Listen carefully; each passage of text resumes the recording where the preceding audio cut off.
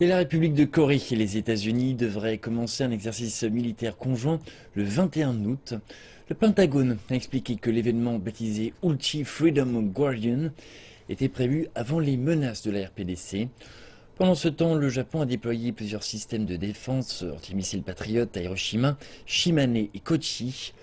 Les trois préfectures ont été spécifiquement nommées par Pyongyang lorsque le gouvernement a annoncé qu'il travaillait sur un plan visant a ciblé des sites près de l'île de Guam, qui est un territoire américain.